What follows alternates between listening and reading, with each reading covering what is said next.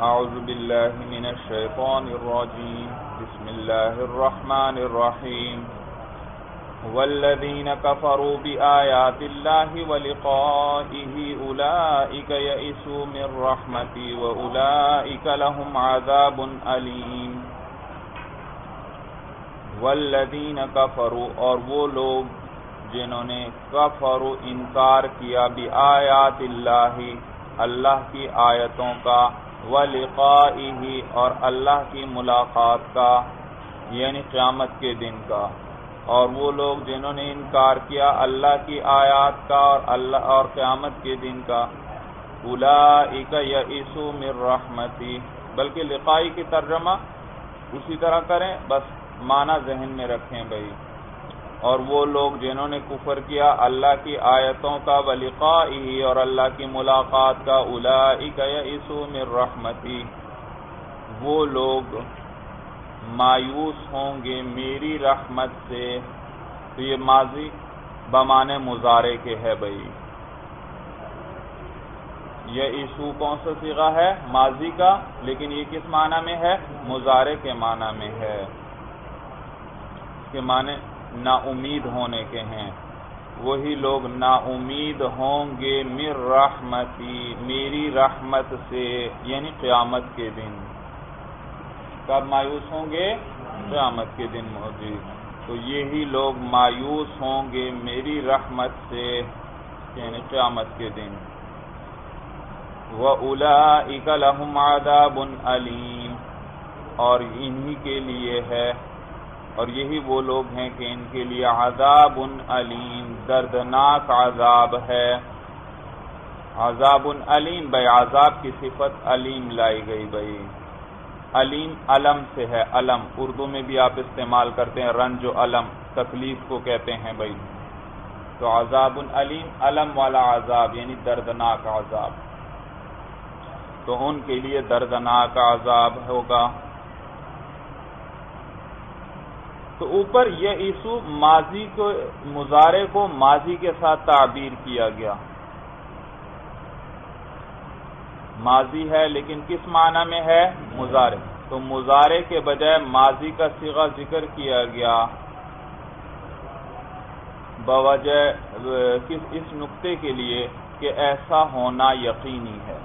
ایسا ہونا تحقق کے لیے، یقین کے لیے بھائی جیسے ماضی میں، مستقبل میں کام ہونا ہو، تو اس میں شک ہوگا، پتہ نہیں ہوتا ہے یا نہیں ہوتا۔ لیکن ماضی میں ایک بار جب ہو چکی اور گزر چکی، اس میں کسی قسم کا شک، کسی قسم کا شک اور شبہ نہیں ہوتا۔ تو یہاں بھی یہ اسو ماضی کا سیغہ استعمال کیا گیا کہ اس بات میں کسی قسم کا شک اور شبہ نہیں ہے۔ یقینی طور پر اسی طرح ہوگا کہ یہ لوگ جو ہماری آیتوں اور ہماری ملاقات کا انکار کرتے ہیں، یہ لوگ میری رحمت سے، میری جنت سے مایوس ہوں گے۔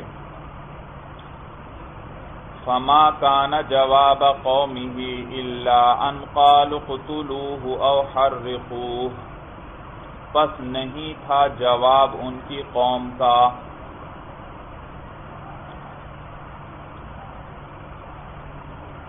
تو یہ حضرت ابراہیم علیہ السلام کی کی بات چل رہی ہے۔ وہ اپنی قوم کو دعوت دے رہے ہیں، سمجھا رہے ہیں۔ تو جواب میں ان کی قوم آگے بتلایا جا رہا ہے، صرف یہی جواب ان کے پاس۔ اور تو کوئی جواب تھا نہیں ان باتوں کا، کیونکہ یہ ساری باتیں حقیقت پر مبنی تھیں۔ اور تو بس یہی کہنے لگے کہ ان کو قتل کر دو یا جلا دو۔ فما کان جواب قومی ہی بس نہیں تھا ان کی قوم کا کوئی جواب اللہ ان قالو مگر یہ کہ انہوں نے کہا، اقتلوه او حرقوه، کہ ان کو قتل کر دو یا ان کو جلا دو۔ ان کو قتل کر دو یا ان کو جلا دو۔ تو کہنے والے بعض تھے لیکن سارے لوگ ان پر، ساری قوم اس پر راضی تھی، اس لیے ساری قوم کی طرف نسبت کر دی گئی کہ ساری قوم کا یہی جواب تھا۔ ان کی دعوت و تبلیغ اور حق باتوں کے جواب میں اور تو کچھ انہیں جواب ان کے پاس تھا ہی نہیں، تو یہی کہا کہ ان کو کیا کرو؟ قتل کر دو یا جلا دو۔ اور کیا کہا؟ ان کی قوم کا جواب تھا۔ حالانکہ کہنے والے بعض ہیں لیکن چونکہ سارے اس پر راضی تھے تو ساروں ہی کی طرف نسبت کر دی گئی۔ بس نہیں تھا ان کی قوم کا کوئی جواب سوائے اس کے کہ انہوں نے کہا کہ ان کو قتل کر دو یا ان کو جلا دو۔ فَأَنْجَاهُ اللَّهُ مِنَ النَّارِ۔ پس اللہ نے نجات دے دی حضرت ابراہیم علیہ السلام کو آگ سے۔ انہوں نے بڑی آگ جلائی بھائی لکڑیاں جمع کی اور پھر حضرت ابراہیم علیہ السلام کو اس میں پھینکا گیا، لیکن اللہ تعالی نے اس آگ کو ان کے لیے ٹھنڈا فرما دیا اور کوئی تکلیف انہیں نہیں پہنچائی۔ آگ نے صرف جن رسیوں سے ان کو باندھا گیا تھا، صرف ان رسیوں کو جلایا۔ حضرت ابراہیم علیہ السلام کو کچھ بھی نہیں ہوا۔ اور وہیں پر فوراً اللہ تعالیٰ نے ایک باغ بنا دیا۔ تو فوراً اللہ کی طرف سے کیا بن گیا؟ باغ بن گیا بھائی وہاں پر۔ فَأَنْجَاهُ اللَّهُ مِنَ النَّارِ۔ پس اللہ نے ان کو نجات دی مین النار۔ اس آگ سے۔ یہ فا جو ہے فائے فصیحہ کہلاتا ہے۔ فصیحہ فواد کے ساتھ۔ فائے فصیحہ۔ جو محضوف عبارت پر دلالت کرتا ہے۔ کس پر دلالت کرتا ہے؟ محضوف عبارت پر۔ بھائی بھائی انہوں نے آپس میں مشورہ کیا اور کہا کہ ان کو قتل کر دو یا جلا دو۔ آگے پھر واقعہ محضوف ہے کہ انہوں نے پھر اس پر متفق ہو گئے کہ ان کو آگ میں ڈالتے ہیں۔ پھر انہوں نے آگ جلائی اور پھر اس کے اندر حضرت ابراہیم علیہ السلام کو پھینکا۔ فَأَنْجَاهُ اللَّهُ مِنَ النَّارِ۔ تو اللہ نے ان کو آگ سے بچا لیا۔ بھائی بات سمجھ میں آ گئی؟ تو یہ کیا ہے پائے؟ فصیحہ، جو عبارت محضوف جو ہے اس پر دلالت کرتا ہے۔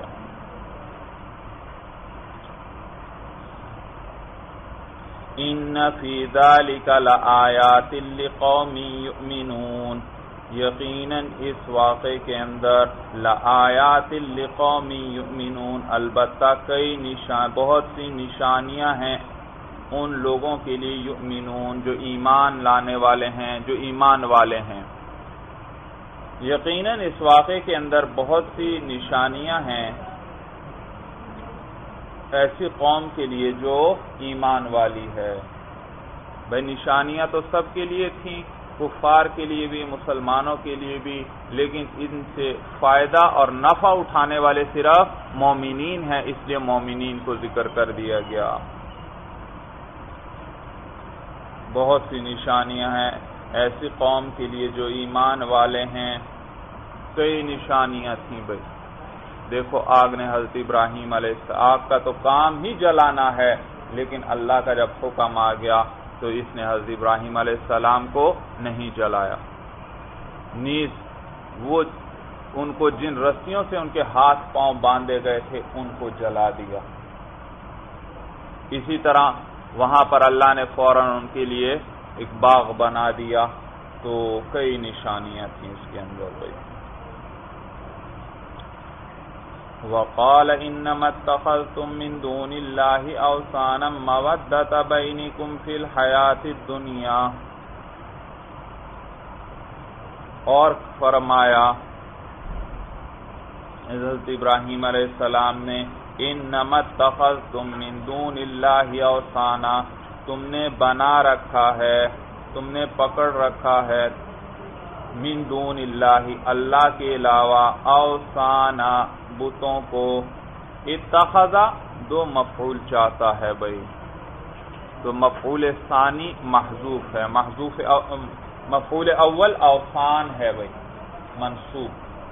اور مفعول ثانی محضوف ہے آلہتن بھائی آلہتن تم نے بتوں کو معبود بنا رکھا ہے، معبود پکڑ رکھا ہے یعنی معبود بنا رکھا ہے۔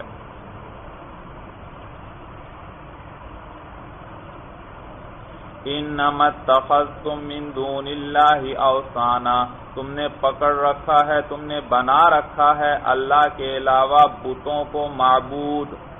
مودت بینکم فی الحیات الدنیا۔ مودتا یہ منصوب ہے، یہ مفعول لہو واقع ہو رہا ہے۔ کیا واقع ہو رہا ہے؟ مفعول لہو مفعول لہو کسے کہتے ہیں؟ ہاں جو ماقبل فیل کی علت بیان کرتا ہے، سبب بیان کرتا ہے، بھائی، اسے کیا کہتے ہیں؟ مفعول لہو کہتے ہیں۔ جیسے ضربتہ تادیبن میں نے اس کی پٹائی کی، کس لیے کی؟ تادیبن ادب سکھانے کے لیے۔ تو یہ مفعول لہو ہے بھائی تادیبن بھائی پھر یہ مفعول لہو یاد رکھیے، دو قسم پر ہوتا ہے۔ مفعول لہو دو قسم پر ہوتا ہے۔ کبھی یہ ماقبل فیل کے لیے سبب ہوتا ہے اور کبھی اس کا نتیجہ ہوتا ہے۔ مفعول لہو کتنی قسم پر ہوتا ہے؟ دو قسم پر۔ یہ کبھی ماقبل فیل کے لیے سبب ہوگا اور کبھی اس کا نتیجہ۔ سبب ہونے کا معنی یہ کہ یہ اس پر مقدم ہے۔ اس کی وجہ سے ماقبل کا فیل کیا گیا۔ اور نتیجہ ہونے کا معنی یہ کہ یہ فیل کے بعد ہے فیل سے حاصل ہو رہا ہے۔ نتیجہ بعد نہیں آتا ہے، تو یہ فیل سے، تو کبھی یہ فیل پر مقدم ہوگا یعنی سبب ہوگا، اور کبھی یہ فیل کے سے مؤخر ہوگا اور نتیجہ ہوگا۔ مثال سے بات سمجھ میں آئے گی بھائی۔ دیکھیے، ایک مثال ہے ضرب تو میں نے اس کی پٹائی کی کس لیے؟ ادب سکھانے کے لیے۔ اب ماقبل میں ہے پٹائی کرنا اور ماں بعد میں ہے ادب کا حاصل ہونا۔ کیا چیز مقدم ہے؟ پٹائی کرنا مقدم اور نتیجہ تو یہ کیا ہوا؟ کس قسم کا ہوا؟ نتیجے کے طور پر یہ نتیجہ ہے بھائی پٹائی ہوگی تو کیا حاصل ہو جائے گا؟ ادب بھائی۔ اور ایک کی مفول لہو، تو یہاں دیکھو مفول لہو فیل سے مؤخر ہے بھائی۔ ادب کا حاصل ہونا مؤخر۔ اور ایک ہے کہ مفول لہو فیل پر مقدم ہو۔ جیسے قاعد تو انل ہر بھی جو میں جنگ سے بیٹھا یعنی اس میں شرکت نہیں کی جو بنان بزدلی کی وجہ سے۔ تو یہ جنگ سے بیٹھنے کی وجہ سے بزدلی آئی یا بزدلی کی وجہ سے جنگ سے بیٹھا؟ بزدلی کی وجہ سے یعنی بزدلی مقدم تھی اور جنگ سے بیٹھنا تو یہ سبب ہے ماقبل فیل کے لیے۔ یہ بزدلی سبب ہے ماقبل فیل کے لیے بھائی، ماقبل فیل کے لیے۔ یہ مقدم ہوا اور اس کی وجہ سے جنگ سے بیٹھا، اس میں شرکت نہیں کی۔ اور پہلے میں کیا تھا؟ ضرب تو ضرب تو ہو وہ فیل کا نتیجہ تھا فیل سے حاصل ہونے والی چیز تھی بھائی۔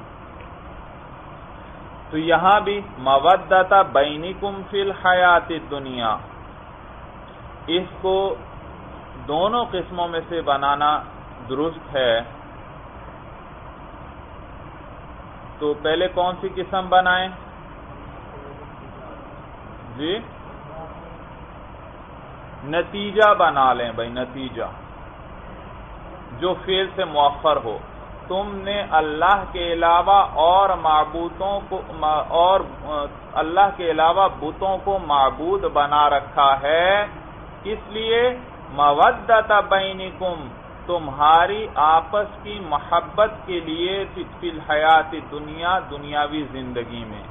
دنیاوی زندگی میں آپس کی محبت، آپس کی دوستی کے لیے۔ ترجمہ سمجھ میں آ رہا ہے بھائی؟ یہ کون سی قسم بنا رہے ہیں ہم؟ نتیجہ؟ بھائی، جو ایک مذہب والے ہوتے ہیں، ان میں آپس میں محبت ہوتی ہے، تعلق ہوتا ہے۔ تو تم نے بھی بتوں کو اس لیے معبود بنا رکھا ہے تاکہ تمہارے آپس میں محبت ہو بھائی۔ جب ایک مذہب پر ہو جاؤ گے تو آپس میں کیا ہوگی؟ محبت ہوگی۔ اس لیے ایک دوسرے کے راستے پر چل رہے ہو گئی تو بتوں کی عبادت کریں گے، سارے اسی راستے پر چلیں گے تو کیا حاصل ہے؟ آپس کی محبت۔ سورج سمجھ میں آ گئی؟ تو اس اعتبار سے ترجمہ دیکھو۔ وقال انما اتخذتم من دون اللہ اوسانا مودت بینکم فی الحیات الدنیا تم نے پکڑا ہے اللہ کے علاوہ بتوں کو معبود۔ تم نے بنا رکھا ہے اللہ کے علاوہ بتوں کو معبود۔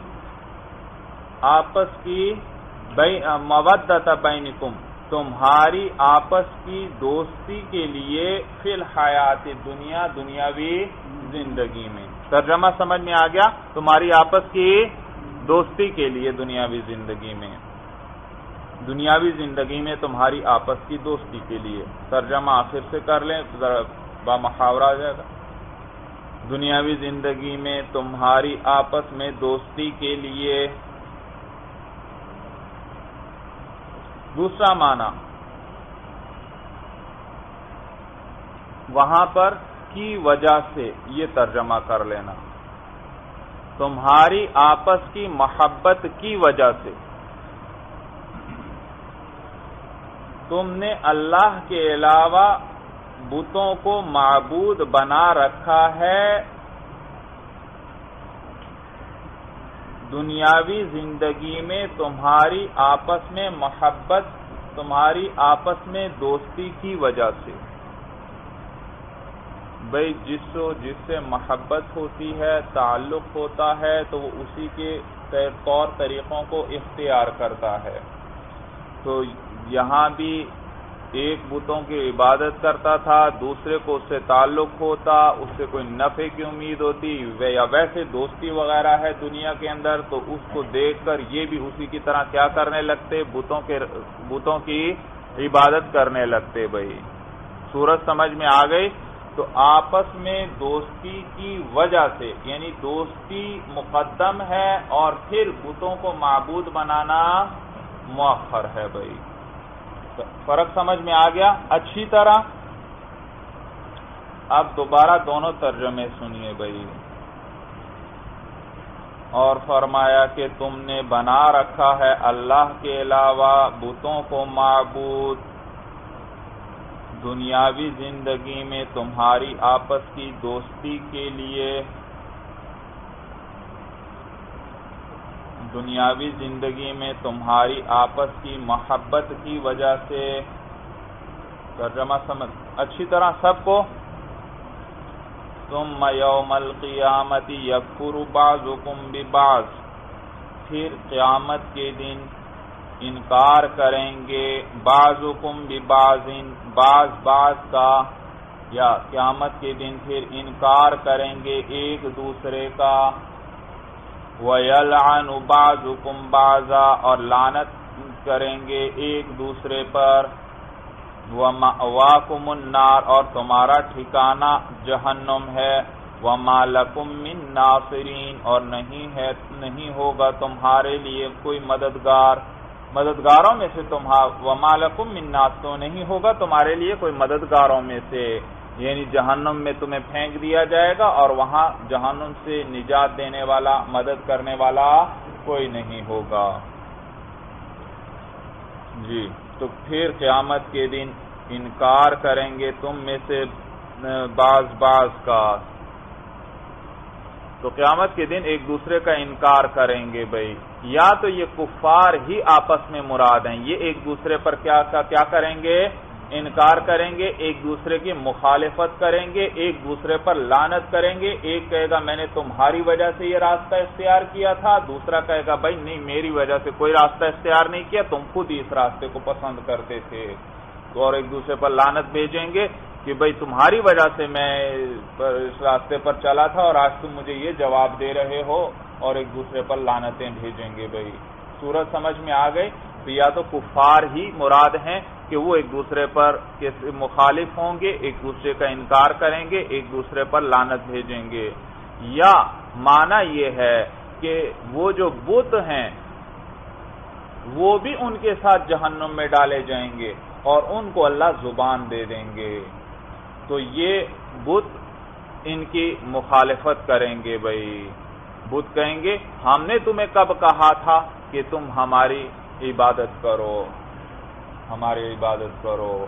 اور یہ ایک دوسرے لانت بھیجیں گے، کہیں گے کہ ہم تم پر ساری زندگی نظر و نیاز چڑھاتے رہے اور آج تم ہی ہماری مخالفت کر رہے ہو جب اللہ نے تمہیں زبان دے دی ہے۔ مانا سمجھ میں آ گیا؟ اچھی طرح۔ ثم يوم القيامت يكفر بعضكم ببعض ويلعن بعضكم بعضا، اور پھر قیامت کے دن انکار کریں گے یا یوں کر لیں، مخالفت کریں گے۔ پھر قیامت کے دن مخالفت کرے گا ایک دوسرے کی ویلعن بعضکم بعضا اور لعنت کرے گا ایک دوسرے پر ومأواکم النار اور تم سب کا ٹھکانہ جہنم ہے، تمہارا بھی اور جن کی تم عبادت کرتے ہو۔ وما لکم من ناصرین اور نہیں ہے تمہارے لیے کوئی مددگار۔ تو کفار کے ساتھ ان کے بت بھی جہنم میں ڈالے جائیں گے۔ اس سے آپ کے ذہن میں یہ شبہ آئے گا کہ بھئی بتوں کا کیا قصور ہے، انہیں کیوں جہنم میں ڈالا گیا اور انہیں کیوں عذاب دیا گیا بھائی جواب یہ کہ بھئی انہیں جو جہنم میں ڈالا جائے گا، وہ بطور عذاب کے نہیں، انہیں عذاب وہاں نہیں ہوگا۔ ہاں صرف ان کو وہاں پر اس لیے ڈالا جائے گا تاکہ ان کفار کی حسرت اور تکلیف اور زیادہ ہو۔ اور ان پر ان کی حماقت اور زیادہ واضح ہو خود اپنی آنکھوں سے اپنی حماقت دیکھیں کہ جن چیزوں کی ہم عبادت کیا کرتے تھے، وہ ہماری کیا مدد کرتے، وہ تو خود ہمارے ساتھ ہی جہنم کے اندر موجود ہیں بھائی۔ بات سمجھ میں آ گئی؟ تو بدھ وہاں پر یہ اس کا یہ معنی وہاں ہوں گے، تو اس کا یہ معنی نہیں کہ انہیں عذاب ہوگا بھائی۔ چلیے بس کریں بھائی المرام اللہ عالم بحقیقت الکلام۔